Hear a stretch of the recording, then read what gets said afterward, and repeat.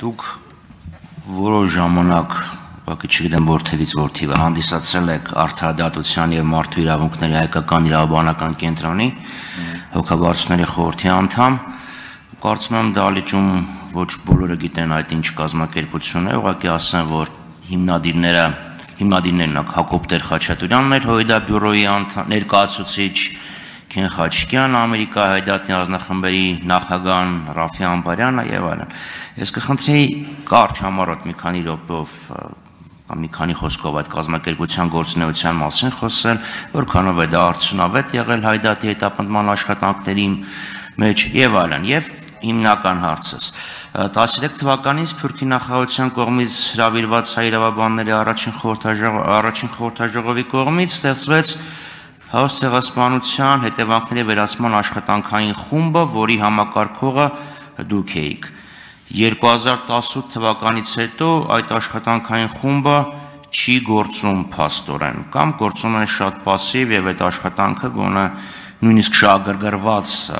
շրջանակների կողմից այդքան էլ չի երևում։ Խնդրեմ տեղեկացնեք, դա ձեր բազմազբաղության հետևանքն է, թե պետական քաղաքականությունն է փոխվել այդ հարցում։ Շնորհակալություն։ Ոչ իմ բազմազբաղության խնդիրն է, ոչ էլ պետական քաղաքականության փոփոխության խնդիրն է, դա պայմանավորված է նախ կ ូវ իդով եւ համավարակով, երկրորդը դա պայմանավորված է պատերազմով, որը անկեղծ акցենտները եւ որոշակի հարցերում հա հրատապությունը փոխեց։ Ինչ վերաբերում է իմ մոտեցման այս հարցին դու գիտեք ես բազմիցս արտահայտվել եմ այդ Թոմաս Ամբենից հայոց ցեղասպանության ճանաչման եւ դրա իրավական հետևանքները վերացման հարցերի, դրա նեգատիվ իրավական հետևանքների վերացման հետ կապված հարցերով ես նախաձեռնել եմ եւ իմ գործընկերների աջակցությամբ ընդունել ենք մի շարք օրենսդրական ակտեր, որոնք վերաբերում են ցեղասպանության, ուղղակի հրաապարակային հրահարման դեպքին եթե ուշադրություն դարձնեք նոր քրեական օրենսգրքին, ապա մանրամասն նախատեսված են միջազգային հանցագործությունները, որոնք նաև, հա, այսպես ասեմ, հայ ժողովրդի արդար պայքարի մասն են վկայում։ Ինչ վերաբերում է այդ կառույցին, որը ձևավորել էր, որը գործադիր տնօրենն էր Քեյթ Նահապետյան, այո, ես հրավերք էի ստացել եւ եղել եմ հոգաբարձությունների խորհրդի անդամ, չասեմ երևի թե հրաապարակային ինչի համար այդ բազմակերպության աշխատանքները ասենց ասեմ ոչ այնքան արդյունավետ ստացվեցին, որովհետև գիտեք, մասնակիցների մի մասը միացյալ նահանգներում էր, մի մասը Հայաստանում, մի մասը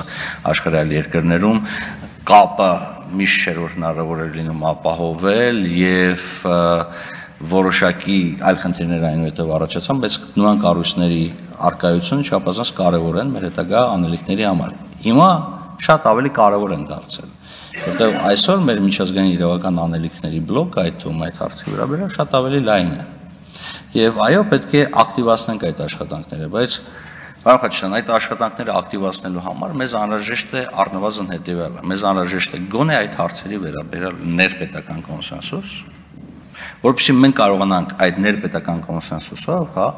գնանք առաջ, որովհետև անկեղծ ես պետք է ասեմ, ես որևիցե ճշնամի կամ հակառակորդ չունեմ Հայաստանի Հանրապետության սահմանի ամբողջ պերիմետրով եւ որովհետեւ մեկին ճշնամի չեմ համարում հայ ժողովրդից կամ Հայաստանի Հանրապետության քաղաքացիներից, բայց մենք համատեղ աշխատանք պետք է կատարենք եւ այդ համատեղ աշխատանքը չափազանց կարեւոր է, որպեսզի իրականացվի նորմալ, հա, բնականon հունով։ Հակառակ դեպքում մենք անընդհատ վախվելու ենք այս կարգի խնդիրների։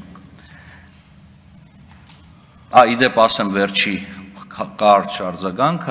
վերջերս է ստացակ են Խաչկանից նամակ, որով առաջարկում էր,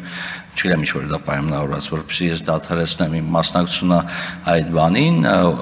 կառույցի հոգաբարձությունների խորհրդին եւ պարզապես էքսպերտային մակարդակի օժանդակություն ցուցաբերեմ, ես պատրաստ եմ։ Ես ցանկացած միջազգային իրավական հարցի հետ, որտեղ կարող եմ իմ համեսնումը ներդնեմ, ես պատրաստ եմ համագործակցել ցանկացած կառույցի հետ, այսքանը։ Շնորհակալություն Հիմա միջման ժամ է, բայց պարոն Խաչատրյան, ձեզ հնարավորություն կտանք արձագանքեք պատասխանի նոր Կարծում սայթակում էր, որովհետև Հայաստանի Հանրապետության պերիմետրով բազմաթիվ թշնամիներ կան, բայց ամեն դեպքում դրան չանդրադառնանք։ Պարոն Վարդանյան, ես հարցեցի 2018 թվականից հետո։ 2018 թվականին ոչ իդ կար, ոչ պատերազմ կար։ Առաջի իդով իզոլացիան մեկուսացումը տեղի ունեցավ, եթե չեմ սխալվում, 2020 թվականի մարտի 1-ին 2018-ից մինչև 2020 առնվազն 2 տարի կար։ Շնորհակալություն։ Լավ, որ տենց անկեղծ եք ուզում, անկեղծ է պատասխանեմ։ Ուրեմն այդ հարցի հետ կապված, հա, մենք հետաքրված ենք եւ ամբողջ աշխատանքները իրականացում մեր համանդրական դատարանում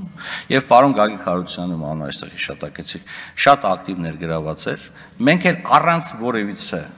0 լումա պետական բյուջեից ստանալով կամ որևիցե աղբյուրից ստանալով մենք իրականացրել ենք այդ աշխատանքները կներեք այնուհետև համանդրական դատարանում նախագահ փոխվեց կներեք համանդրական դատարանից գնաց աշխատակազմի ղեկավարը ով եւ բովանդակային առումով եւ աշխատանքային առումով, եւ լոգիստիկայի առումով, եւ անձնական միջոցներ ներդրելու առումով պարզապես ի վիճակի չէր դա անել, եւ այդ հարցը գնաց կորավ։ Մենք պարոն Մանույանի հետ ենք հանդիպել, եթե չեմ սխալվում 19 թվականին մի քանի անգամ եւ դրանից հետո էլ հա, այս վերջերս էլ ենք խոսացել, եթե չեմ սխալվում, հեռախոսով մենք քննարկել ենք այդ հարցերը։ Եվ ես պատրաստակամ եմ գիշերը ցերեկ դարձնել եւ զբաղվել այդ հարցերով։ Բայց խնդրում եմ, Մի ասեք նես բաներ, որի պատասխանները այստեղ չպետք է հնչեն։ Սա այն հարցը չէր, որը դուք պետք է այստեղ տայեք եւ որին ես պետք է պատասխանեի։ Կներեք։